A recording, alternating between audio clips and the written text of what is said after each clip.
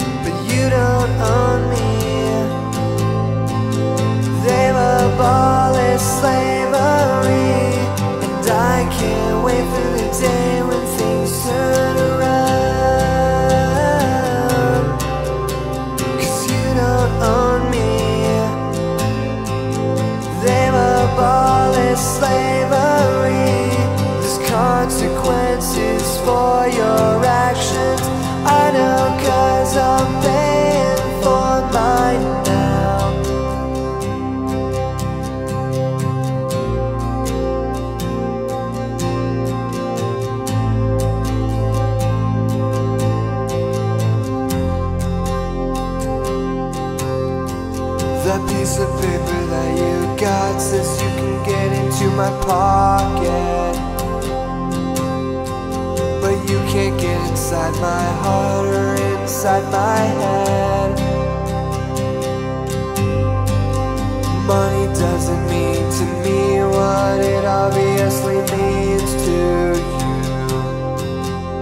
Cause I would never steal from kids that don't have a clue.